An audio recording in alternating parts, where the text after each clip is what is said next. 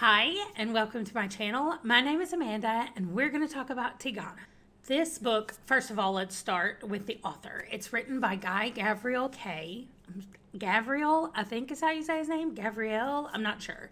He is Canadian. He lives in Saskatchewan, which might not be how you say it, but I hope that it is. I, I have read a couple of books by him now, and I think he does such a great job of creating worlds. Like, he does a very good job of making a fantasy world and sucking me, at least, right into his story. And so in Tigana, what we're primarily focusing on is a group of people. Okay, I'm going to read you what the description says about this book.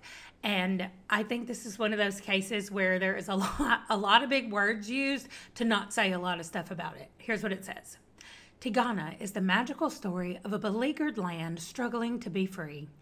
It is the tale of a people so cursed by the black sorcery of a cruel, despotic king that even the name of their once beautiful homeland cannot be spoken or remembered.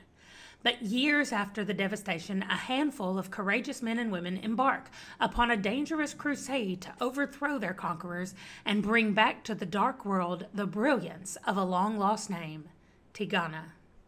Against the magnificently rendered background of a world both sinuous and barbaric, this sweeping epic of a passionate people pursuing their dream is breathtaking in its vision, changing forever the boundaries of fantasy fiction. Wow, that sounds super impressive, right? This book was really good.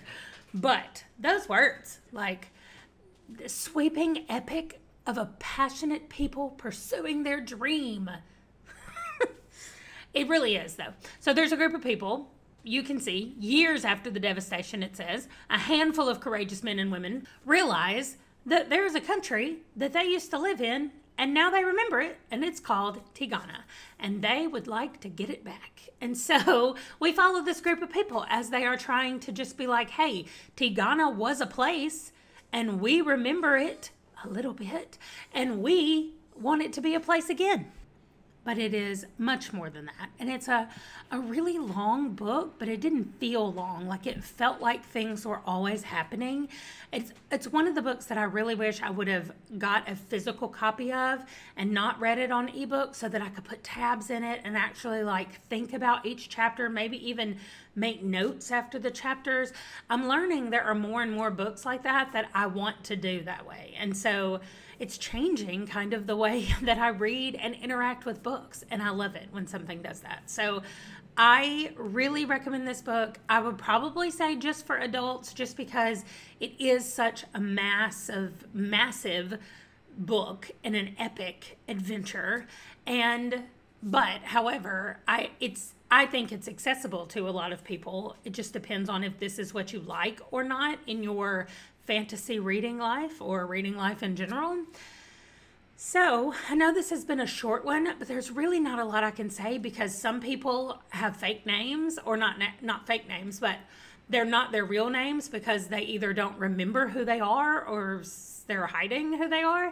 And so I can't even really talk about the characters but the group as a whole, I really love. Like, I love the dynamics. I think he has done a really good job of developing those characters. I am a very character driven reader. And so I feel like this would have felt a lot more time consuming and more of like a sludging along to try to get through this book if it if the characters hadn't been as great as they were and they absolutely were fantastic so i highly highly recommend this book Let's see, what in the world kind of emojis are we going to put with this?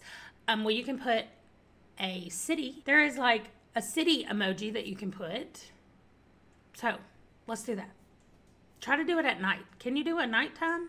I think that you can.